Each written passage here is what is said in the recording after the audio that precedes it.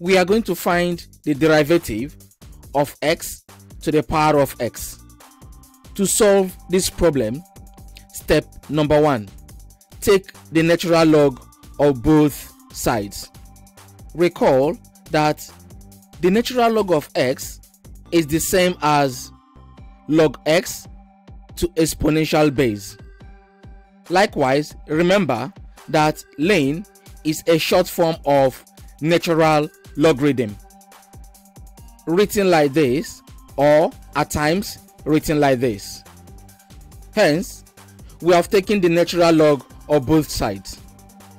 Also, recall that the natural log of a to the power of b is equal to b the natural log of a.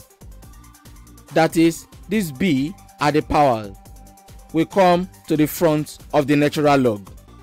With this concept, this x at the power need to come down to the front of this natural log according to this rule.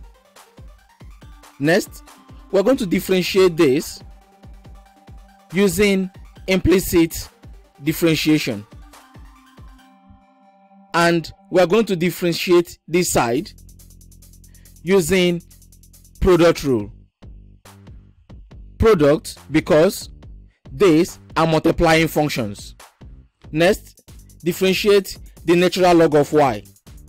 And we have 1 over y. But because we differentiated y and not x, the consequences is we're going to multiply it with dy dx according to the rule of implicit differentiation. Recall that from the basic derivative table, when you differentiate the natural log of x, you are going to get 1 over x.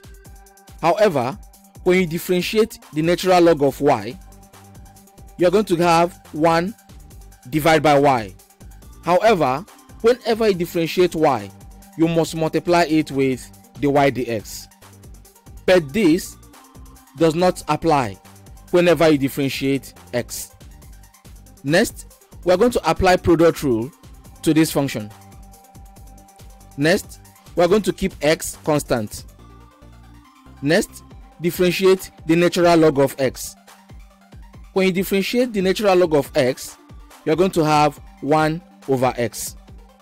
Hence, the differentiation of the natural log of x is 1 over x.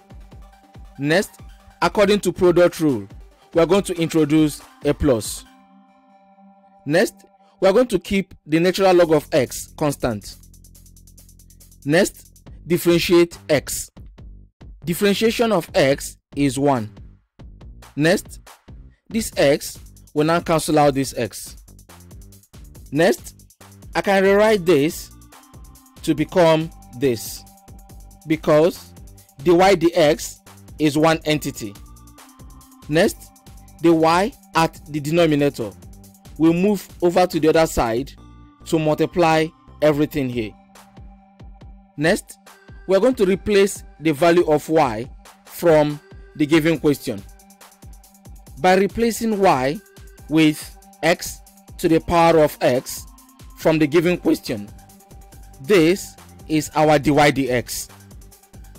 This answer and this are the same because the natural log of x is the same thing as log x of base e. From the options, our answer is A. Remember, this log x is of base e. This is calculus.